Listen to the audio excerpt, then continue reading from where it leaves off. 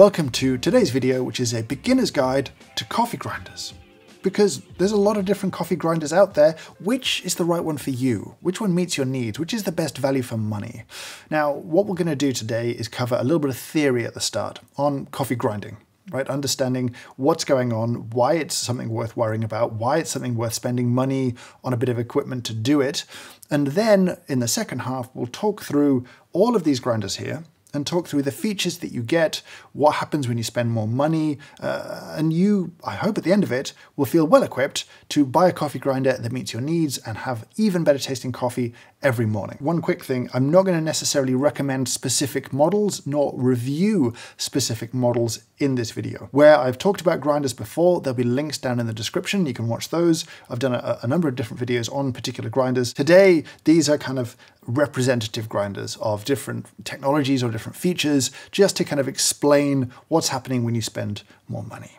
But let's start with the theory. Let's start with what happens when we grind coffee, why we grind coffee in the first place. Now, a whole coffee bean is a wonderful thing, but it doesn't make a good tasting coffee. Water cannot get to all of the flavor because it can only sort of get to the very outside of the bean. And so if you put whole beans in hot water, some flavor will come out, but really not very much. And so we grind it, we smash it into little tiny pieces because what we're concerned about first and foremost is exposing sort of more surface area.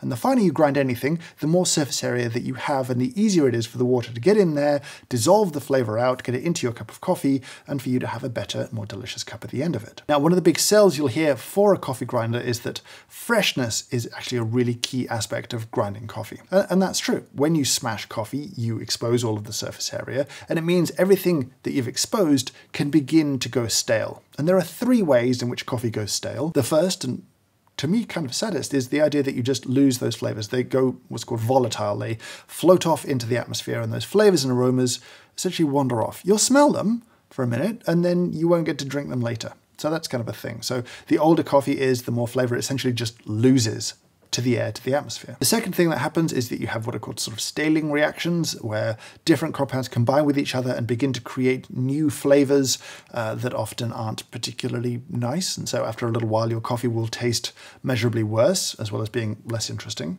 And then the third thing is oxidation. And that'll happen to sort of some of the fats and oils inside coffee. They will oxidize and essentially begin to go rancid it's not a great smell or taste, rancid oil. And rancid oil in all forms smells a little bit fishy, and that's true with coffee. So very old, very stale, rancid coffee is not something I would recommend.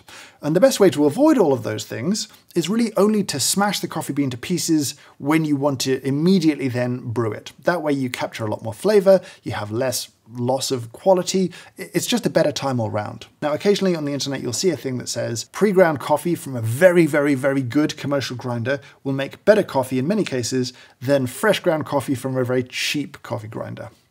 And, that's an interesting test and study that was done. I think it ignores some of the other reasons to buy a coffee grinder, we'll get to in a second. But, but really, what isn't to be underestimated is just the pleasure of grinding coffee. In that moment, there is an enormous release of smell that is fantastic. That moment of grinding coffee, be it in the morning first thing or in the afternoon, it's a pleasure not to be missed. So from that perspective alone, a coffee grinder is worth having. And if you own a pepper grinder of any kind, then you owe it to yourself to own a coffee grinder too, if you drink coffee. Now, the second thing that gets talked about a lot is called grind uniformity. And that's the idea that when you grind coffee, ideally, the little pieces that you make should all be the same size, because when you come to prepare them later, brew them into a cup of coffee, the more uniform the sizes, the better. They'll give up their flavor in a more uniform way. Uh, and that makes sense from anything in the kitchen. If you're trying to cook some potatoes, if you cook a little tiny piece of potato and a whole potato, they'll cook at very different rates and they probably won't cook well together. Same thing with coffee grinding, right? If you are trying to brew loads of little tiny pieces of coffee alongside loads of very big pieces of coffee, you'll get a lot of flavor out of the tiny pieces and not very much out of the other pieces. And this can result in a very unbalanced, unpleasant cup of coffee. Those tiny pieces can add some bitterness, those giant pieces can add some sourness, and those two things combined are not how I want to start my day. So as we talk through grinders, you'll hear me reference this idea of, of grind uniformity. And it, it is important. It helps you make better tasting coffee to have the pieces be a very similar size. You'll have less unbalanced, less unpleasant cups of coffee, more delicious cups of coffee. Now, the third aspect of coffee grinders that's very important, of coffee grinding that's very important, is grind size control. The ideal grind size for espresso is very different from the ideal grind size for something like a French press, for example right? With espresso, you want lots and lots of very fine, small pieces because you're going to extract that coffee with very little liquid to make it very strong. With a French press, you might want to grind it a little bit coarser. So being able to control the grind size is really, really, really important, particularly so in espresso, but we'll touch on that a little bit later. So that's it. That's the key information to think about as we go into looking at these different grinders. It'll help us to understand why you might want to spend a bit more money here or there. But before we get into that, there's a quick ad for this video's sponsor, which is Skillshare. Skillshare is an online learning community full of thousands of classes for creative and curious people like you and me then you can explore new skills, you can deepen existing passions, or you can challenge yourself creatively, as I have been doing recently. I've really enjoyed Andy J. Pizza's class. It's been covering things about finding your style, uncovering your own kind of creative identity. As someone who does creative work, it's really important and helpful to challenge your thinking and challenge what you're doing if you want to make better work in the future. And for less than $10 a month, Skillshare is incredibly affordable and it gives you access to every single class that's on the platform. And if you're curious, click the link down below. The first thousand of you to use that link will get a free trial of Skillshare Premium. Thank you to Skillshare for sponsoring this video. So let's start with these 10 grinders in front of me. Let's start at the beginning with the cheapest grinder on offer, which is this. It's a blade grinder. And these can be had for like 20 pounds. They're very cheap. They're very simple things. You've got a little motor, and that's attached to some spinning blades inside here. And when you turn the grinder on, these spin really, really quickly. And essentially those blades, they're not very sharp. They kind of just smash the coffee down into little pieces. The longer you run it, the finer the coffee will be. But the problem with these is that you really don't have any control meaningfully over grind size. To have really the same grind size every time is quite tricky, and to have a uniform grind size is extremely unlikely.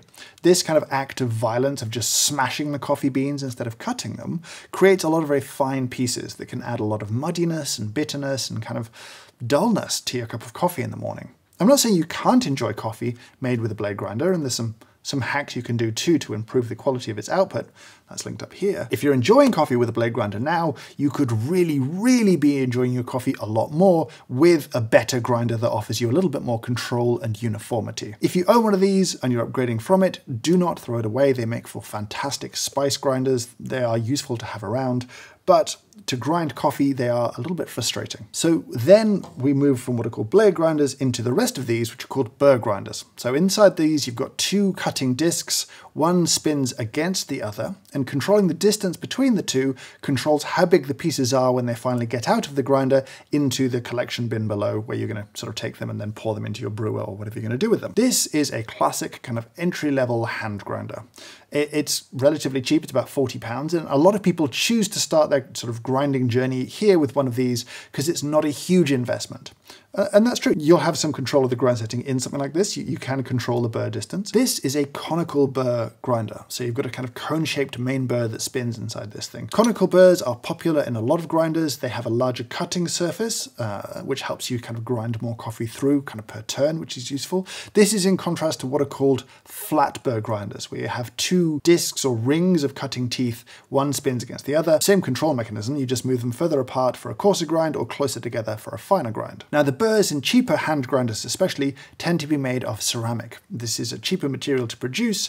They don't cut quite as cleanly, so your grind uniformity isn't quite as good as a metal burr. But as an entry-level thing, they, they work okay. What you tend to see also in cheaper burr grinders is a little bit of wobbling from that bottom burr as it's grinding because it's not stabilized super well because they're trying to keep costs down.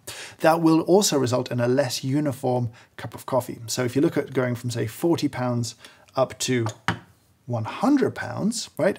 You, have got the same basic technology. You're going to be doing the work here. You are turning, you're working to crush the coffee between those burrs. Now here you go from a plastic construction to a metal construction, and you go from ceramic burrs to metal burrs. So it's a big jump in quality going from 40 pounds to say 100 pounds. Now with the previous grinder and this grinder and the next grinder too, they are what's called stepped grinders, where you adjust the grind here at the bottom by fixed amounts. This is sort of a step that kind of clicks into place, uh, and that's a controlled movement.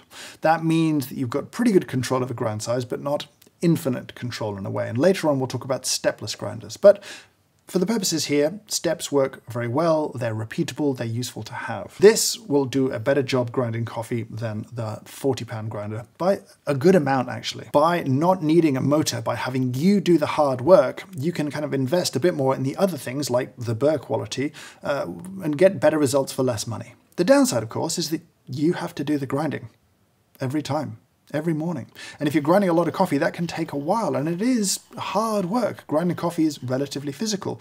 That can change with more expensive grinders or bigger grinders, but ultimately, hand grinding is something you have to kind of enjoy doing. As you go from £100 up to something much more expensive in the hand grinder world, generally you're getting an increase in construction. Again, this is better made, this feels solid, it's great materials, but really you're going to be paying for better grinder uniformity.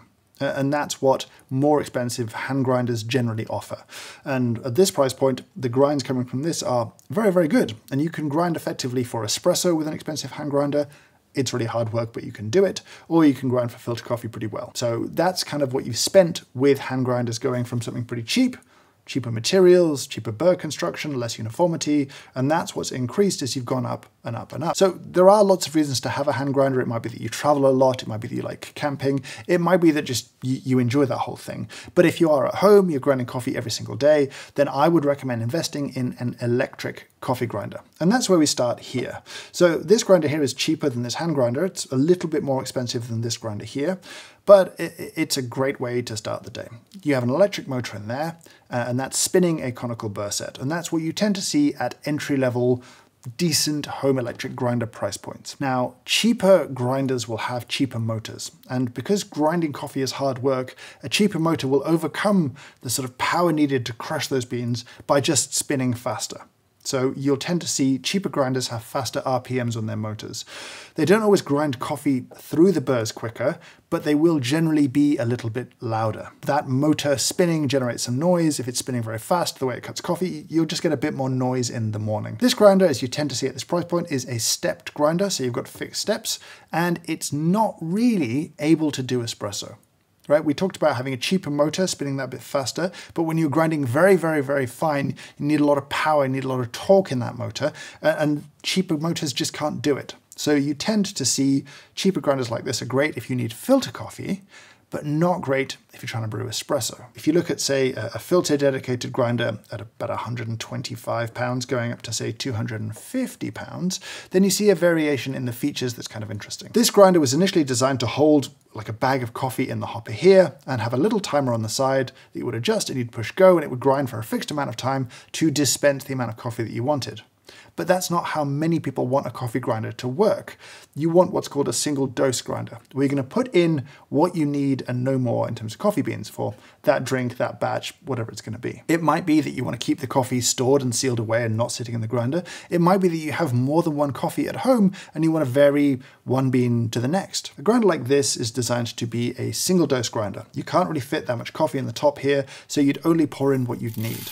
Instead of having a timer, this has an auto shut off that stops the grinder when it's no longer grinding coffee. This grinder, like this grinder, is a stepped grinder, so you've got fixed increments that you can adjust the grind size by, and this grinder is also a filter coffee only grinder. Its motor, its setup is really built around filter coffee and not espresso. What you tended to see historically was when you when you need espresso, you had a dedicated espresso style grinder. And this is a pretty good example. There's a bit of a jump in price because you've got a, a more substantial motor in there. And this is about, I think, 350 pounds, which is some pretty serious money. Now this is designed really to be a dedicated espresso grinder. And it's a little bit more traditional in its design, which means it's got a large hopper on top to, again, hold a big bag of coffee beans in there and grind what you need when you need it. Many people choose not to do that, as I said, and use these as single dose, though you'd probably want to replace this hopper with something more appropriate. What you see as you go from a filter coffee dedicated grinder to an espresso dedicated grinder is not just the ability to grind finer, but you tend to see stepless adjustment right? Where you control the fineness or the coarseness, it's usually just a wheel that you can move as little or as much as you want. Espresso requires very small adjustments to grind size to have quite a substantial change in the way that the coffee brews, so you want as much control as is possible. So that's what you tend to see in a dedicated espresso grinder. This will grind using time. So you push go and it'll grind for say 9.2 seconds to give you a consistent dose of coffee. This kind of grinder you can buy in a huge number of different configurations from different manufacturers. You'll have different motor sizes, different burr sizes, different burr shapes, uh, you know, different kind of technologies controlling how much coffee it grinds as it grinds. But the base principle is kind of there. If you're grinding for espresso, you need that more powerful motor, and that tends to mean you need to spend more money, and that's where your money is going. Now, these two grinders are emblematic of more modern approaches to grinders. This kind of grinder has existed for 60, if not 70 years now. These are much newer. As you'll see, they're both grind to order grinders. They have no real space to hold much coffee. They'll hold a single dose and no more.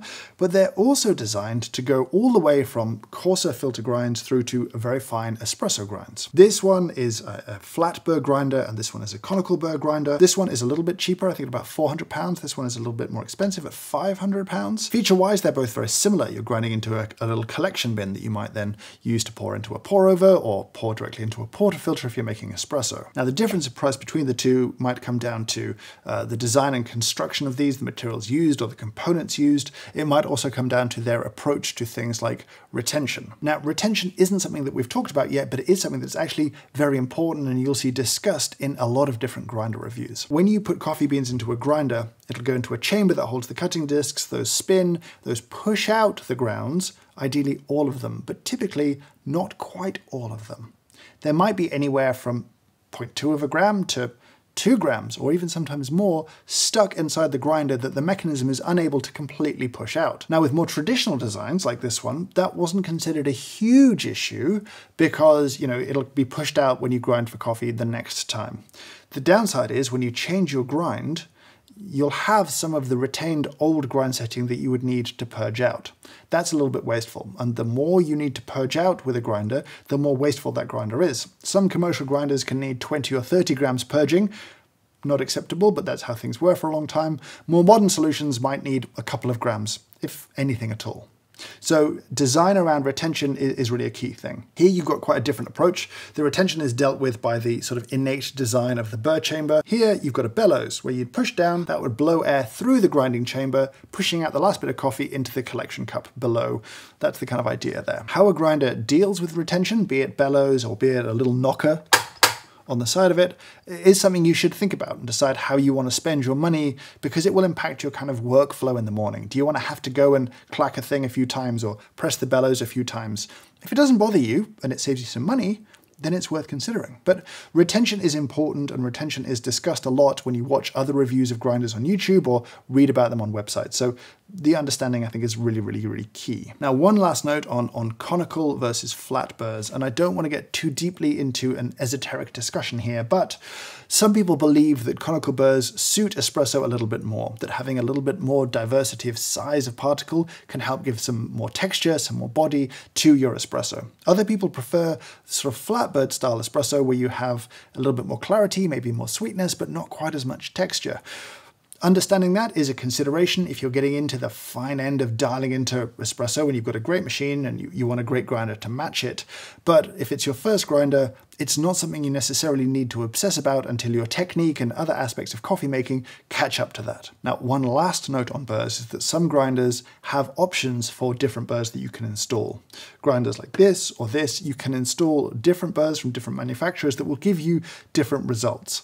If you are shopping for a grinder and you're kind of wanting to future-proof it, considering a grinder that has some options for grinder burrs is, is one thing to maybe just bear in mind as you're shopping. That's not essential, but it is a kind of nice to have if you're thinking about buying a grinder that's going to last you for a really long time without worrying about needing to constantly upgrade. Now these nine grinders I have here are I think viable first time purchases even though we've gone all the way up to 500 pounds. I could see this still being someone's first coffee grinder at home. I did want to include a little bit more just to explain how people can end up spending enormous amounts of money on coffee grinders for what they're chasing. Now this grinder on the end is incredibly expensive. It's three and a half thousand dollars, but I think it's a good example of, of how far people will go in the chase for better uniformity, better construction or better design or better build, more control. Here you've got variable RPM. I can change the speed of my motor uh, to achieve different results in how it grinds.